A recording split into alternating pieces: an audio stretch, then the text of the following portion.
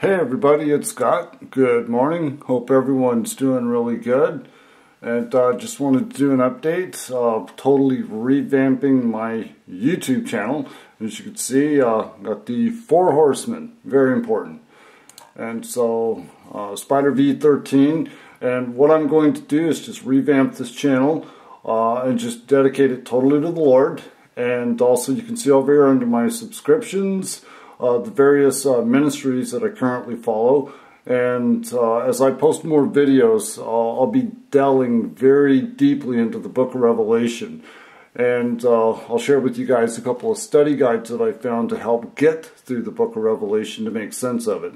Because yes, it is totally written in parables and very difficult to understand. And I think it scares a lot of people. But one of the things I've discovered, I'm finally into chapter 14, uh, realistically, once you get an understanding of God's plan, it's actually a miracle that uh, the rapture, the tribulation, and revelation uh, are all coming to pass. And soon enough, this really bad, wicked system that we live in will come to pass.